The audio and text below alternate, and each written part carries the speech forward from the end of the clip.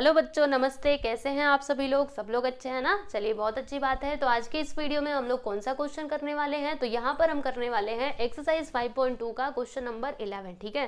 Question number 10 तक हमने already complete कर लिया है अपने पिछले वीडियो में। तो जिन्होंने भी वीडियोज़ नहीं देखे हैं, जाकर के आप लोग प्ले में सारे वीडियोज़ को देख लीजिएगा, ठीक है? आपका मैथमेटिक्स पार्ट वन और पार्ट टू कंप्लीट हो चुका है। इसके अलावा अगर आपको अकाउंट्स की स्टडी करनी है तो वो भी आप लोग कर सकते हैं। अकाउंट्स के भी सारे चैप्टर्स मैंने करवाए हुए हैं तो प्ले में जाइए। वहाँ पर आपको सारे चैप्टर्स मिल जाएँगे, ठीक है? तो चलिए अभी देरी ना करते हुए हम लोग अपने क्वेश्चन को देखते हैं। तो ये है बच्चों आपका क्वेश्चन नंबर इलेवन देखो, इसमें क्या क्या इन्फॉर्मेशन दी गई है? तो Dorbish Bowley's price index number दिया गया है और फिशर्स प्राइस इंडेक्स नंबर दिया गया है, ठीक है? तो कितना दिया है? यहाँ पे हम लिखते जाते हैं। जो कुछ भी पहले गिवन है ना, उसे आप लोग लिख लो, ठीक है? देखो यहाँ पे क्या लिखा है कि if Dorbish Bowley's and Fisher's price index number are five and four respectively respectively मतलब क्या होता है बच्चों? एक ऑर्डर में। जैसे कि डॉर्बिस बाउली पहले है ना? तो पहला वाला नंबर मतलब क्या? ये Dorbish Bowley's price index number है, ठीक है? तो यहाँ पे हम लिखते हैं इस तरीके से। ये कितना है? फाइव ठीक है? फिर फिशर्स प्राइस इंडेक्स नंबर कितना है बच्चों? फोर तो यहाँ पे हम लिख देते हैं फिशर्स प्राइस इंडेक्स नंबर जो कितना है? फोर ठीक है? ये इन्फॉर्मेशन दी गई है। अभी इनकी मदद से हमें क्या करना है? Last year price index number और पासिस प्राइस इंडेक्स नंबर बताना है। तो कैसे बताएँगे? बहुत सिंपल है, बस आपको पिछले फॉर्मूले आने चाहिए। देखो, मैंने आप लोगों को फॉर्मूला बताया था ना कि Dorbish Bowley's price index number क्या होता है? ये किसके इक्वल होता है? तो इसके इक्वल होता है ना? देखो Laspeyres price index number plus Paasche's price index number और इसे हमें डिवाइड करना होता है किससे? टू से डिवाइड करना होता है, ठीक है? अब देखिएगा, यहाँ पर ये जो है Dorbish Bowley's price index number कितना दिया है बच्चों? फाइव यहाँ पे लिख दीजिए फाइव ठीक है? और फिर उसके बाद यहाँ पर Laspeyres price index number plus Paasche's price index number और अपॉन में क्या है? टू अभी हम क्या करेंगे? ये जो टू है ना, इसको हम इस साइड बुला लेते हैं तो जब ये इधर आएगा तो बच्चों इसके साथ मल्टीप्लाई हो जाएगा और क्या हो जाएगा? टेन हो जाएगा, है ना? तो ten which is equal to क्या आया?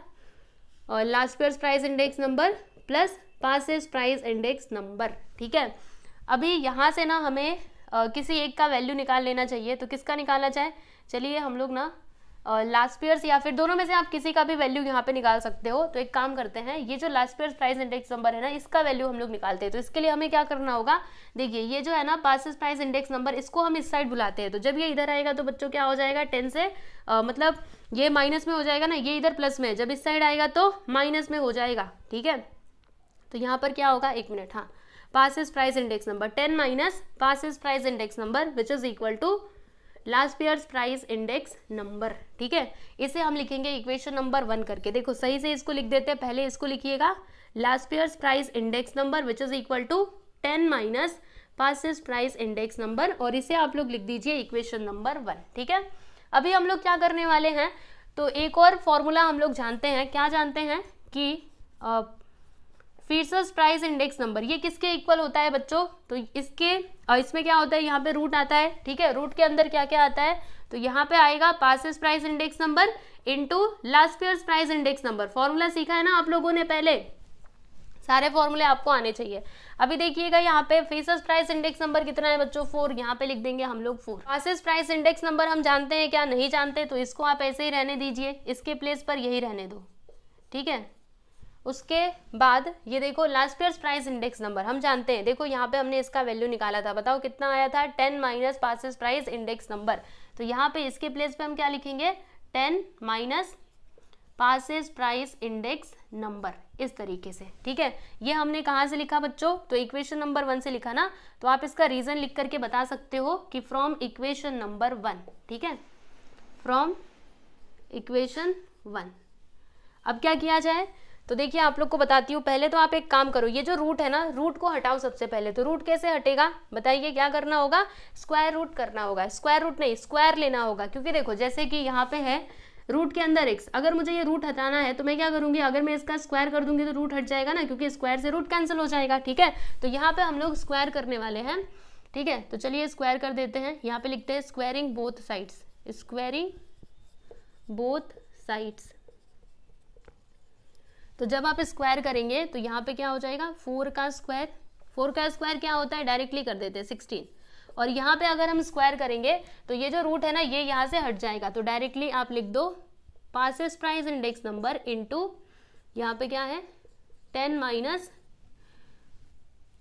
Paasche's price index number ठीक है ना? अभी क्या करना पड़ेगा पता है आप लोगों को? देखिए, ये जो है बच्चों पासिस प्राइस इंडेक्स नंबर इसका मल्टीप्लाई हम लोग ये वाले ब्रैकेट में करेंगे। तो इसका मल्टीप्लाई टेन में भी होगा और इसी का मल्टीप्लाई इसमें भी होगा।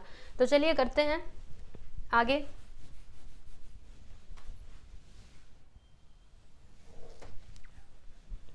क्या लिखेंगे?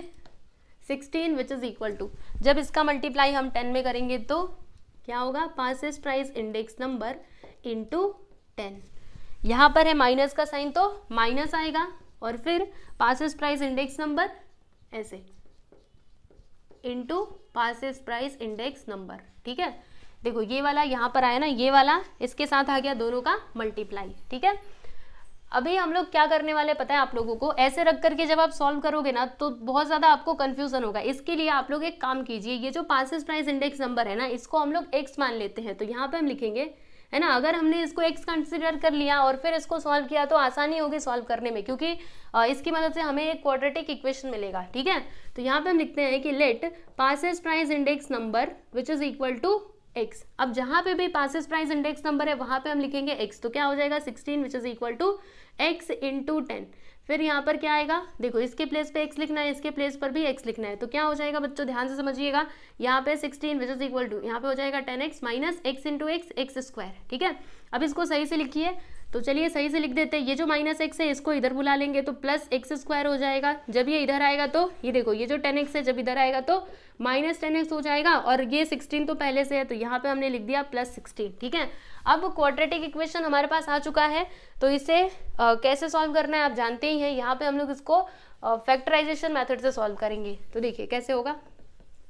X square minus ten x plus sixteen. देखो बच्चों, यहाँ पे क्या है, सिक्सटीन। तो सिक्सटीन के हमको ऐसे दो फैक्टर्स बताने हैं। जब भी हम लोग मल्टीप्लाई करें तो सिक्सटीन मिले और प्लस या माइनस करने पे क्या आए? माइनस टेन आए। तो ऐसे दो नंबर्स कौन से हैं? ये हो सकते हैं ना, ए, आठ और दो। दोनों भी माइनस में, क्योंकि देखो एट टू सिक्सटीन है ना? इन दोनों का मल्टीप्लाई करेंगे तो प्लस सिक्सटीन आएगा और माइनस एट माइनस टू मिलकर के माइनस टेन हो जाएगा। तो क्या लिखोगे? X square minus eight x minus two x plus sixteen इसमें से हम क्या कॉमन ले सकते हैं? एक्स को ब्रैकेट के अंदर आएगा एक्स माइनस एट यहाँ से हम लोग माइनस टू को कॉमन ले सकते हैं ब्रैकेट के अंदर आएगा एक्स माइनस एट पता है ना आप लोगों को कैसे होगा? और यहाँ पे विच इज़ इक्वल टू आप ज़ीरो लिखना देखो मैं भूल गई थी यहाँ पे ज़ीरो लिखना तो आ, मतलब लिखना ही है ना? क्योंकि इधर से हमने इन सभी को बुला लिया तो इधर क्या बचा? इस साइड में ज़ीरो बचा ठीक है? Which is equal to zero अब क्या किया जाए? तो देखिए x minus eight x minus eight तो इसको हम लोग एक बार ही लिखेंगे फिर एक्स माइनस टू, है ना? हमने क्या किया बच्चों? ये जो एक्स माइनस एट है ना, इसको हमने कॉमन ले लिया, ठीक है? फिर एक्स माइनस टू को एक में करके लिख दिया which is equal to zero अभी हम क्या करेंगे? ऐसे लिखेंगे ना, x minus eight which is equal to zero और x minus two which is equal to zero यहाँ से देखिएगा, आपको एक्स का वैल्यू मिलेगा। माइनस एट को उधर लेंगे तो प्लस एट और माइनस टू को उधर लेंगे तो प्लस टू हो जाएगा, ठीक है? तो देखिए, यहाँ पे हमें x के दो वैल्यूज़ मिले हैं, यानी कि पासिस प्राइस इंडेक्स नंबर हमें क्या क्या मिला? एक तो हमें एट मिला, दूसरा क्या मिला बच्चों? टू तो देखो, मैं यहाँ पे लिखती हूँ therefore Paasche's price index number which is equal to eight और टू मतलब आठ या फिर दो, ठीक है? हमें क्या क्या बताना था? हमें पासिस प्राइस इंडेक्स नंबर बताना था और Laspeyres price index number बताना था ना? तो पासिस प्राइस इंडेक्स नंबर तो आ चुका है। अभी लास्ट पेयर्स की बात करेंगे तो वो हमें कैसे मिलेगा? ये वाला जो आपको इक्वेशन दिख रहा है ना, इसमें आप एक काम करो, ये जो वैल्यूज़ हमें मिले हैं, इन्हें हम पुट करते जाएँगे, ठीक है? तो देखिए बच्चों, अगर मैंने यहाँ पे हमें पूरा अच्छे से लिख करके बताना पड़ेगा, यहाँ पे लिखते हैं कि if Paasche's price index number which is equal to eight यानी कि अगर हमने इसको एट माना तो फिर हमें Laspeyres price index number कितना मिलेगा? देखो if Paasche's price index number which is equal to eight then Laspeyres price index number क्या हो जाएगा? देखो, ये इक्वेशन में पुट कीजिएगा। क्या है? देखो ten minus Paasche's price index number बताइए कितना हमने लिया है? एट लिया है। तो टेन माइनस एट करेंगे तो कितना आएगा बच्चों? टू यानी कि अगर हमने इसको आठ माना तो फिर लास्ट प्राइस इंडेक्स नंबर क्या आएगा? टू आएगा। ठीक है? या फिर आप ऐसे करके लिखो, और इफ़ अगर हमने पासिस प्राइस इंडेक्स नंबर को टू मान लिया, क्योंकि दो दो वैल्यूज़ हमें मिले हैं ना, या तो ये या फिर ये। तो अगर हमने इसको आठ माना तो इसका आंसर कितना आएगा? मतलब इसका वैल्यू कितना आएगा टू और अगर हमने पासिस प्राइस इंडेक्स नंबर को टू माना तो फिर Laspeyres price index number हमारे पास कितना आएगा बच्चों? एट आएगा। कैसे? देखो आपको सॉल्व करके बताती हूँ। यहाँ पे लिखते हैं then Laspeyres price index number तो ये था ना इक्वेशन नंबर वन क्या है? Ten minus ten minus Paasche's price index number Paasche's price index number को हमने इधर क्या माना है? टू तो जब हम इसको माइनस करेंगे तो कितना आएगा बच्चों? एट ठीक है? तो देखिए ये भी इसका आंसर हो सकता है ये भी हो सकता है। यानी जब आप लोग पासिस प्राइस इंडेक्स नंबर को टू मानेंगे टू नहीं एट मानेंगे तो फिर आपको Laspeyres price index number कितना मिलेगा? टू माने आ, मतलब टू मिलेगा ठीक है? और अगर हमने पासिस प्राइस इंडेक्स नंबर को टू माना तो फिर Laspeyres price index number हमें कितना मिलेगा? एट मिलेगा ठीक है? तो इस तरीके से आप लोग आंसर लिख सकते हो है ना? तो फाइनली आपका ये जो क्वेश्चन नंबर इलेवन है ये भी कंप्लीट हुआ। यही बाकी था जो मैंने आपको अभी सॉल्व करवा दिया ठीक है? तो सब कुछ कंप्लीट है। बस आप लोग पढ़ाई कीजिए अच्छे से और अच्छे अच्छे मार्क्स लेकर के आइए, ठीक है? तो चलिए, चलते हैं और आप लोग को बताना चाहती हूँ, जिन्होंने भी टेलीग्राम चैनल को नहीं ज्वाइन किया है, आप लोग ज़रूर कर लीजिएगा, क्योंकि वहाँ पर जो मैं आपको मैथमेटिक्स के क्वेश्चंस कराती हूँ या फिर अकाउंट्स के क्वेश्चंस कराती हूँ, सबकी पीडीएफ फ़ाइल हमारे टेलीग्राम चैनल में अवेलेबल होती है, ठीक है? इसीलिए आप सभी लोग टेलीग्राम चैनल से जुड़ जाइए। और अगर आप चाहें तो इंस्टाग्राम पे भी मुझे फॉलो कर सकते हैं। लिंक आपको डिस्क्रिप्शन में मिल जाएगा। ठीक है? चलिए, चलते हैं। Good bye everyone